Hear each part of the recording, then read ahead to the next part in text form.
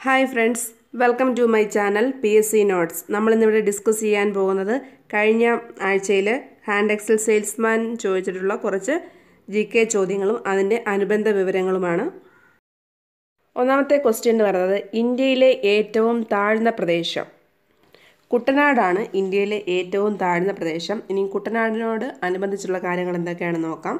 കേരളത്തിന്റെ നെല്ലറ എന്നറിയപ്പെടുന്നത് കുട്ടനാടാണ്. അതേസമയം കേരളത്തിന്റെ ധാന്യപ്പുര എന്നറിയപ്പെടുന്നത് പാലക്കാടാണ്. കുട്ടനാട് പമ്പയുടെ ദാനമെന്നും അറിയപ്പെടുന്നു. അടുത്ത ക്വസ്റ്റ്യൻ എന്ന് പറഞ്ഞത് ഇന്ത്യയിലെ ആദ്യത്തെ ഇരുമ്പുരുക്ക് വ്യവസായശാല ഏതാണ്? Tata iron and steel industries ആണ്. ഇന്ത്യയിലെ ആദ്യത്തെ സ്റ്റീൽ പ്ലാന്റ് എന്ന് പറയുന്നത് ഇത് മധ്യപ്രദേശിലാണ്. പക്ഷെ നമ്മുടെ ഓപ്ഷനകത്ത് അതൊന്നും ഇല്ലായിരുന്നു. ഓപ്ഷനകത്തുള്ളത് ദുർഗാപൂർ റൂർക്കല ഫിലായി ആൻഡ് ബൊക്കേറോ എന്നായിരുന്നു. അതിനകത്ത് ദുർഗാപൂർ ആണ് ചിലരൊക്കെ ആൻസർ പറഞ്ഞിരിക്കുന്നത്. പക്ഷേ ദുർഗാപൂറും റൂർക്കലയും ഫിലായും ഒരേ സമയത്താണ് ആയിരത്തി തൊള്ളായിരത്തി അൻപത്തി ഒൻപതിലാണ് ഇനാഗുറേറ്റ് ചെയ്തത്. അതുപോലെ തന്നെ ബൊക്കാറ എന്ന് പറയുന്നത് ജംഷഡ്പൂരിലാണ് ആയിരത്തി തൊള്ളായിരത്തി അറുപത്തി നാലിൽ ജാർഖണ്ഡിൽ റഷ്യയുടെ സഹായത്തോടുകൂടി തുടങ്ങിയ സ്റ്റീൽ പ്ലാന്റ് ആണ് ബൊക്കാറോ സ്റ്റീൽ പ്ലാന്റ്. നമുക്കിനി നോക്കാം റൂർക്കേല എവിടെയാണ്? റൂർക്കേല ഒറീസ ജർമ്മനിയുടെ സഹായത്തോടുകൂടി ആയിരത്തി തൊള്ളായിരത്തി അൻപത്തി ഒൻപതിലാണ് സ്റ്റാർട്ട് ചെയ്തത്. ദുർഗാപൂർ എന്ന് പറയുന്നത് ബംഗാളിലാണ്. ബ്രിട്ടന്റെ സഹായത്തോടുകൂടി ആയിരത്തി തൊള്ളായിരത്തി അൻപത്തി ഒൻപതിലാണ് സ്റ്റാർട്ട് ചെയ്തത്. ബിലായി എന്ന് പറയുന്നത് ഛത്തീസ്ഗഡിലാണ്.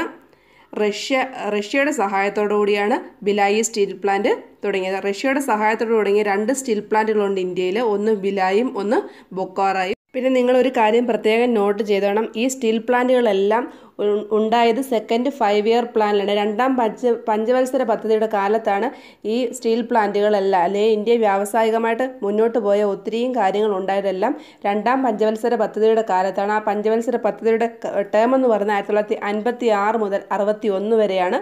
ആയിരത്തി തൊള്ളായിരത്തി അൻപത്തി ആറ് മുതൽ അറുപത്തി ഒന്ന് വരെയാണ്. ആയിരത്തി തൊള്ളായിരത്തി അൻപത്തി ഒൻപതിലാണ് ഈ പറയുന്ന സ്റ്റീൽ പ്ലാന്റുകളെല്ലാം ഈ മൂന്ന് പ്രധാനമായിട്ടുള്ള സ്റ്റീൽ പ്ലാന്റുകൾ റൂർക്കേലയും ദുർഗാപൂറും ഫിലായും ഇന്ത്യയിൽ ഇനാഗുറേറ്റ് ചെയ്തത്. അതുപോലെ തന്നെ ഈ മോഡലിന് രണ്ടാം പഞ്ചവത്സര പദ്ധതിയുടെ മോഡലിന് പറയുന്ന പേര് മഹൽനോബിസ് മോഡൽ എന്ന് പറയുന്നു. അദ്ദേഹമാണ് father of Indian budget and Indian statistics എന്നറിയപ്പെടുന്നതും അദ്ദേഹത്തിന്റെ ബർത്ത്ഡേ ആണ് നാഷണൽ സ്റ്റാറ്റിസ്റ്റിക്സ് ഡേ ആയിട്ട് ആചരിക്കുന്നത് ജൂൺ ഇരുപത്തി ഒൻപത്. നാഷണൽ സ്റ്റാറ്റിസ്റ്റിക്സ് ഡേ എന്ന് പറയുന്നത് ജൂൺ ഇരുപത്തി ഒൻപതിനാണ് ആചരിക്കുന്നത്. അതുപോലെ നമുക്ക് ലാർജസ്റ്റ് സ്റ്റീൽ പ്ലാന്റ് ഏതെന്ന് ചോദിച്ചാൽ ബൊക്കാറോ ജംഷഡ്പൂരിലുള്ള ആണ് ലാർജസ്റ്റ് സ്റ്റീൽ പ്ലാന്റ് എന്നറിയപ്പെടുന്നത്. അത് ഏറ്റവും വലിയ സ്റ്റീൽ പ്ലാന്റ് ബൊക്കാറോ ആണ്. അതുപോലെ തന്നെ പ്രോഫിറ്റബിൾ സ്റ്റീൽ പ്ലാന്റ് ഫിലായി ആണ്. ഛത്തീസ്ഗഡിലുള്ള ഫിലായി ആണ്. പ്രോഫിറ്റബിൾ ആയിട്ടുള്ളത് രണ്ടുകൂടെ പരസ്പരം അങ്ങോട്ടും ഇങ്ങോട്ടും തെറ്റിപ്പോകരുത്. പ്രോഫിറ്റബിൾ ആയിട്ടുള്ളത് ഫിലായും ലാർജസ്റ്റ് ആയിട്ടുള്ളത് ബൊക്കാറോയുമാണ് ഇത് രണ്ടും റഷ്യയുടെ സഹായത്തോടെ തന്നെയാണ് ഇന്ത്യയിൽ നിലവിൽ വന്നത്. കേരളത്തിൽ വിദ്യാഭ്യാസ നിയമം നിലവിൽ വന്നത് ആയിരത്തി തൊള്ളായിരത്തി അൻപത്തി ഒൻപതിലാണ് ആയിരത്തി തൊള്ളായിരത്തി അൻപത്തി ഒൻപതിൽ തന്നെയാണ് വിമോചന സമരവും ഉണ്ടായത്. എന്ന് പറഞ്ഞത് ഇന്ത്യയിലെ ആദ്യത്തെ കൽക്കരി ഖനി. റാണിഗഞ്ച് ആണ് ഇന്ത്യയിലെ ആദ്യത്തെ കൽക്കരി ഖനി എന്ന് പറയുന്നത്.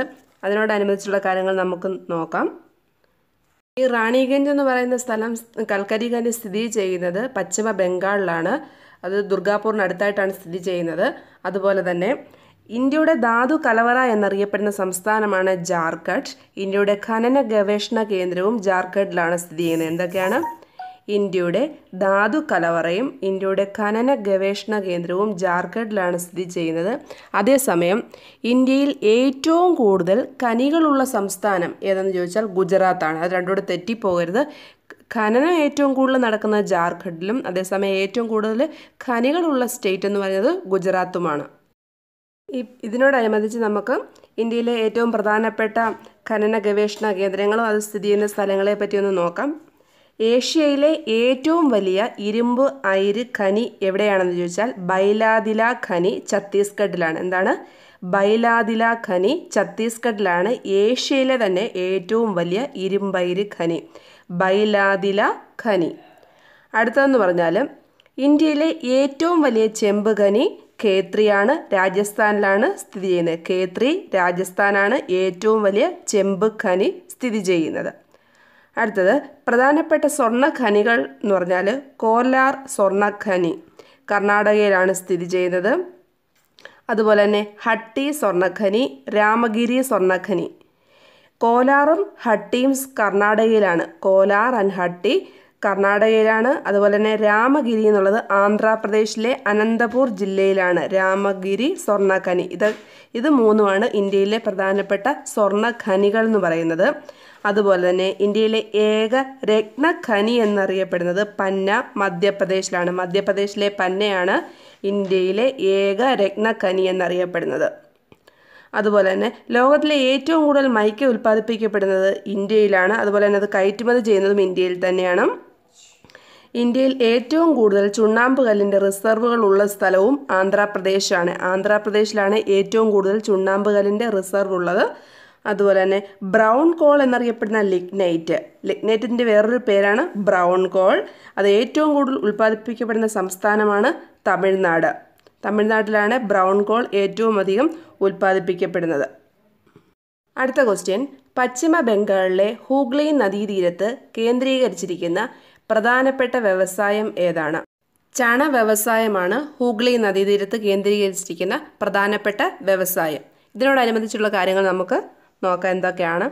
സുവർണ നാര് എന്നറിയപ്പെടുന്നത് ചണമാണ്. സുവർണ നാരാണ് ചണം എന്നറിയപ്പെടുന്നത്. ഇന്ത്യയിലെ ആദ്യത്തെ ചണമില്ല് ആരംഭിച്ചത് കൊൽക്കട്ടയ്ക്കടുത്ത് റിഷ്റയിലാണ്. കൊൽക്കട്ടയ്ക്കടുത്തുള്ള റിഷ്റയിലാണ് ഇന്ത്യയിലെ ആദ്യത്തെ ചണമില്ല് ആരംഭിച്ചത്. അതുപോലെ തന്നെ ചണം വ്യവസായത്തിൽ മുന്നിൽ നിൽക്കുന്ന സംസ്ഥാനമാണ് പശ്ചിമ ബംഗാൾ. പശ്ചിമ ബംഗാളിലാണ് ചണ വ്യവസായത്തിൽ ഏറ്റവും മുന്നിൽ നിൽക്കുന്ന സംസ്ഥാനം എന്ന് പറയുന്നത്. അതുപോലെ തന്നെ ഇന്ത്യയിലെ ആദ്യത്തെ പട്ടുനൂൽ വ്യവസായം ആരംഭിച്ചതും ഹൗറയിലാണ്. ഹൗറയിലാണ് ഇന്ത്യയിലെ ആദ്യത്തെ പട്ടുനൂൽ വ്യവസായം ആരംഭിച്ചത്. അതുപോലെ തന്നെ പരുത്തി ഉൽപ്പാദനത്തിൽ മുന്നിൽ നിൽക്കുന്ന സംസ്ഥാനമാണ് ഗുജറാത്ത്. ഇന്ത്യയിലെ ഏറ്റവും പഴയ വ്യവസായമാണ് പരുത്തി തുണി വ്യവസായം. ഇതൊക്കെയാണ് പരുത്തി ഉൽപ്പാദനത്തിൽ മുന്നിൽ നിൽക്കുന്ന സംസ്ഥാനം ഗുജറാത്തും. ഏറ്റവും പഴയ വ്യവസായം പരുത്തി തുണി വ്യവസായവുമാണ്. പരുത്തിത്തുണി വ്യവസായം കഴിഞ്ഞാൽ കാർഷികാടിസ്ഥാന വ്യവസായങ്ങളിൽ രണ്ടാം സ്ഥാനം പഞ്ചസാര വ്യവസായത്തിനാണുള്ളത്. ഇന്ത്യയുടെ പേപ്പർ ഉൽപ്പാദനത്തിൽ മുന്നിൽ നിൽക്കുന്ന സംസ്ഥാനമാണ് മഹാരാഷ്ട്ര. അതുപോലെ തന്നെ ഇന്ത്യയിലെ ഏറ്റവും വലിയ പേപ്പർ മിൽ ഏതാണെന്ന് ചോദിച്ചാൽ മഹാരാഷ്ട്രയിലെ ബെല്ലാർപൂർ ആണ്. മഹാരാഷ്ട്രയിലെ ബെല്ലാർപൂർ ആണ് ഇന്ത്യയിലെ ഏറ്റവും വലിയ പേപ്പർ മിൽ എന്നറിയപ്പെടുന്നത്. അതുപോലെ ഇന്ത്യയിലെ ആധുനിക പേപ്പർ മിൽ സ്ഥാപിച്ചത് സെറാംപൂർ പശ്ചിമ ബംഗാൾ ഇന്ത്യയിലെ ഏറ്റവും വലിയ ഗ്ലാസ് നിർമ്മാണ കേന്ദ്രം ഫിറോസാബാദ് ആഗ്ര. ഫിറോസാബാദ് ആഗ്രയിലാണ് സ്ഥിതി ചെയ്യുന്നത്. സെൻട്രൽ ലെതർ റിസർച്ച് ഇൻസ്റ്റിറ്റ്യൂട്ട് സ്ഥിതി ചെയ്യുന്നത് ചെന്നൈയിലാണ്. സെൻട്രൽ ലെതർ റിസർച്ച് ഇൻസ്റ്റിറ്റ്യൂട്ട് സ്ഥിതി ചെയ്യുന്നത് ചെന്നൈയിലാണ്. അതുപോലെ തന്നെ ഇന്ത്യയിൽ ഏറ്റവും അധികം രാസവളങ്ങൾ ഉൽപ്പാദിപ്പിക്കപ്പെടുന്ന സംസ്ഥാനം ഗുജറാത്താണ്. ഗുജറാത്തിലാണ് ഏറ്റവും കൂടുതൽ രാസവളങ്ങൾ ഉൽപ്പാദിപ്പിക്കപ്പെടുന്നത്. അടുത്ത ക്വസ്റ്റ്യൻ തമിഴ്നാട് കേരളം ലക്ഷദ്വീപ് എന്നിവ ഉൾപ്പെടുന്ന പോസ്റ്റൽ സോൺ ഏത്? സോൺ ആറാണ് തമിഴ്നാട് കേരളം ലക്ഷദ്വീപ് എന്നിവ ഉൾപ്പെടുന്ന പോസ്റ്റൽ സോൺ. നമുക്കിതിനോട് അനുബന്ധിച്ചുള്ള കാര്യങ്ങൾ എന്തൊക്കെയാണെന്ന് നോക്കാം. ലോക തപാൽ ദിനം എന്നറിയപ്പെടുന്നത് ഒക്ടോബർ ഒൻപതാണ്. ഇന്ത്യൻ തപാൽ ദിനം എന്നറിയപ്പെടുന്നത് ഒക്ടോബർ പത്തിനാണ്. തപാൽ സ്റ്റാമ്പുകൾ ശേഖരിക്കുന്ന ഹോബിയാണ് ഫിലാറ്റലി എന്നറിയപ്പെടുന്നത്.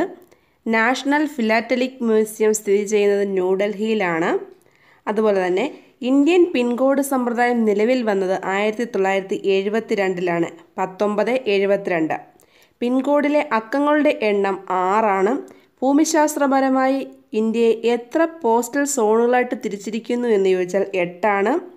അതുപോലെ തന്നെ സൈനിക ആവശ്യങ്ങൾക്കായിട്ട് ഒൻപതാം പോസ്റ്റൽ സോൺ പ്രവർത്തിച്ചു വരുന്നിട്ടുണ്ട് ഭൂമിശാസ്ത്രപരമായിട്ട് എട്ടും സൈനിക ആവശ്യങ്ങൾക്കായിട്ടുള്ളത് ഒൻപതാമത്തെ പോസ്റ്റൽ സോണുമാണ് പ്രവർത്തിച്ചു വരുന്നത്. ലക്ഷദ്വീപ് തമിഴ്നാട് കേരളം എന്നിവ ഉൾപ്പെടുന്ന സോൺ ആറിലാണ്. അതുപോലെ തന്നെ ഇന്ത്യൻ തപാൽ വകുപ്പ് സ്ഥാപിതമായത് ആയിരത്തി എണ്ണൂറ്റി അൻപത്തി നാലിലാണ് കേരളത്തിലാണെങ്കിൽ ആലപ്പുഴയിൽ ആയിരത്തി എണ്ണൂറ്റി അൻപത്തി ഏഴിലാണ് അത് ഉത്രം തിരുനാളിന്റെ കാലത്താണ്. ലോകത്തിലെ ഏറ്റവും വലിയ തപാൽ ശൃംഖലയുള്ള രാജ്യം ഇന്ത്യയാണ്.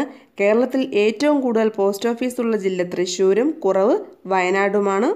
അതുപോലെ തന്നെ ഏറ്റവും തിരക്കേറിയ പോസ്റ്റ് ഓഫീസ് ഇന്ത്യയിലേത് മുംബൈയിലേതാണ്. ഇന്ത്യൻ തപാൽ സ്റ്റാമ്പിൽ പ്രത്യക്ഷപ്പെട്ട ആദ്യ കേരള മുഖ്യമന്ത്രിയാണ് ഇ എം എസ്. ഇന്ത്യൻ തപാൽ സ്റ്റാമ്പിൽ പ്രത്യക്ഷപ്പെട്ട ആദ്യ മൃഗമാണ് ആന. ഏറ്റവും കൂടുതൽ രാജ്യങ്ങളുടെ തപാൽ സ്റ്റാമ്പിൽ പ്രത്യക്ഷപ്പെട്ടത് ഗാന്ധിജിയുമാണ്. ഗാന്ധിജിയെ ആദരിച്ചുകൊണ്ട് യു എൻ ഒ സ്റ്റാമ്പ് പുറത്തിറക്കിയ വർഷമാണ് രണ്ടായിരത്തി ഒൻപത്. രണ്ടായിരത്തി ഒൻപതിലാണ് യു എൻ ഒ ഗാന്ധിജിയെ ആദരിച്ചുകൊണ്ട് സ്റ്റാമ്പ് പുറത്തിറക്കിയത്. അതുപോലെ തന്നെ ഇന്ത്യയിലെ ആദ്യത്തെ മൊബൈൽ ഫോൺ സർവീസ് ആരംഭിച്ചത് കൊൽക്കട്ടയിലാണ്. ഇന്ത്യയുടെ ആദ്യത്തെ ടെലഗ്രാഫ് ലൈൻ എന്ന് പറയുന്നത് കൊൽക്കട്ട ടു ഡയമണ്ട് ഹാർബറാണ്. കൊൽക്കട്ട ടു ഡയമണ്ട് ഹാർബറാണ് ഇന്ത്യയുടെ ആദ്യത്തെ ടെലഗ്രാഫ് ലൈൻ എന്ന് പറയുന്നത്. ടെലഗ്രാഫ് ലൈൻ ആരംഭിച്ചത് ഡൽഹൌസി പ്രഭുവിന്റെ കാലത്ത് ആയിരത്തി എണ്ണൂറ്റി അൻപത്തി ഒന്നിലാണ് ഇന്ത്യയിലെ ആദ്യത്തെ ടെലിഫോൺ സർവീസ് ആരംഭിച്ചത് കൊൽക്കട്ടയിലും ഇന്ത്യയിലെ ആദ്യത്തെ സ്വകാര്യ mobile phone service എയർടെല്ലുമാണ്. Thank you. Thank you for watching my channel P S C notes.